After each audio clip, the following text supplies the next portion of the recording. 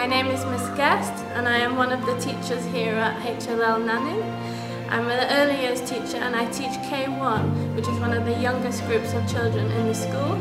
I feel like I have one of the most privileged jobs here because my day is constantly filled with magic and exploration. Harrow Little Lion prides itself on being a place where children can learn through play and exploration of their natural environment. When you take the time to engage with and observe children, it is clear to see that they learn in different ways. When planning and supporting children, we think it's important to consider the different ways that children learn. Continuous provision time is a time daily where children are allowed to explore their natural environment and use their own interests to guide their play. The experiences that are put out by adults are informed by our planning, children can then access independently. For example, this week we were talking about symmetry as a lesson, and now children have the experience to use symmetry in their own play.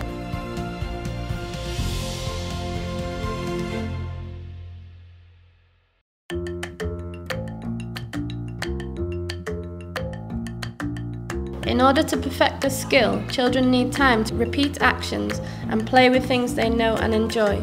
Children can naturally sustain this play and develop ideas and themes which they continue over a period of time. Dressing up and roleplay areas are a firm favourite for this at Harrow Nanning.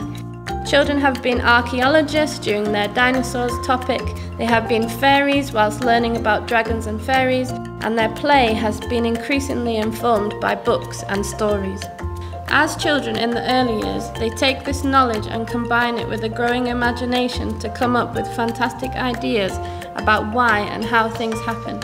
Pretend play lets children try out new roles for themselves, like superheroes, princesses, dinosaurs, and even role playing their own parents. This allows for creative problem solving, but it also helps them to deal with another hurdle of early education intense emotions. Through role play, children are able to understand their emotions and act this out, which allows them to then build confidence to become more resilient with how they are feeling. In the early years, art activities are a fantastic way for children to express themselves. We focus on process rather than product, which allows children to build skills which they can use time and time again. During our Dragons and Fairies topic, the children thoroughly enjoyed splattering and mixing colours on the fabric to represent their own idea of what a dragon looks like. This dragon is now an integral part of the classroom, hanging from the ceiling for the children to look at with pride every day. Children in the early years are developing and building their vocabulary.